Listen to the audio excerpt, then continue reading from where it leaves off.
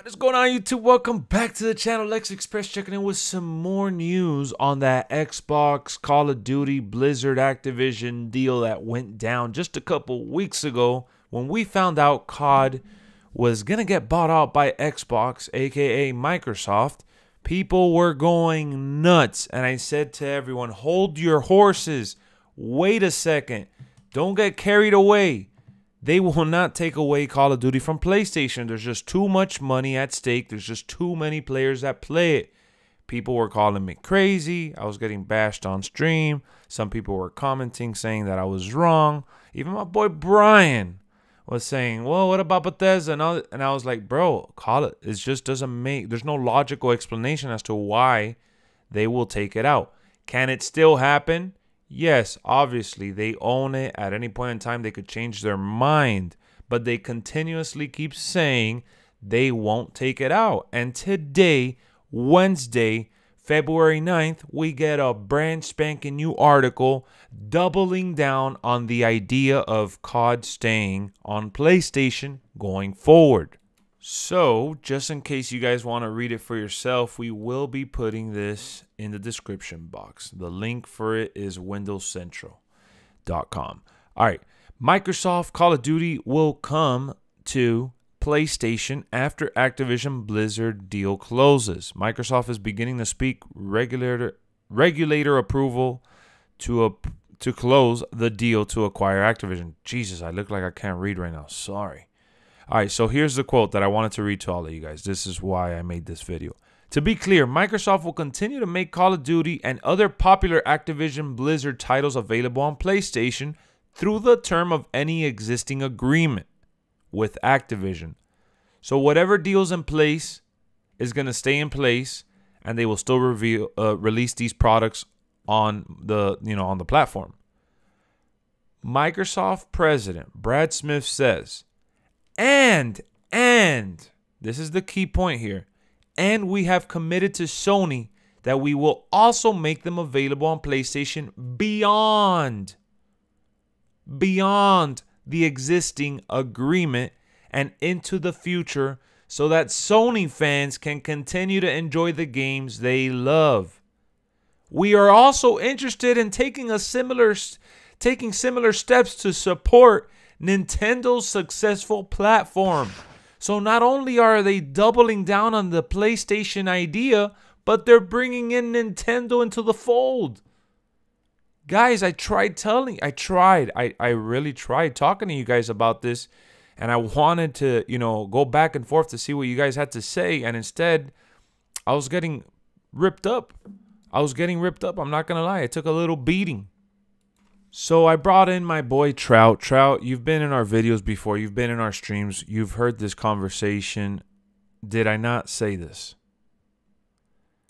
Yeah, uh, I mean, it should have been obvious that they would have lost a lot of money if they would have kept it just solely on Xbox. Way too much money, bro. Call of Duty represents way too much money to Activision. Well, why would they buy Activision Blizzard for $69 billion. Guys, Activision Blizzard doesn't just own Call of Duty, they also own World of Warcraft.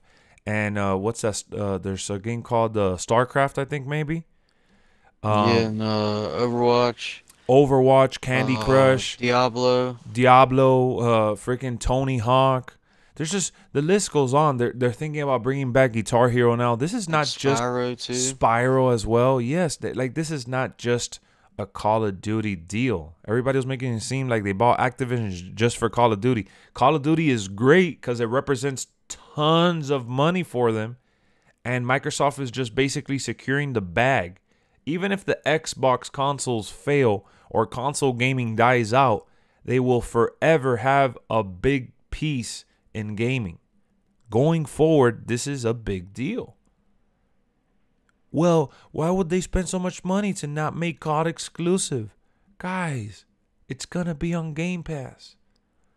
You know how much money they would have had to have paid to have some of the older COD titles or even the latest, newest COD titles on Game Pass?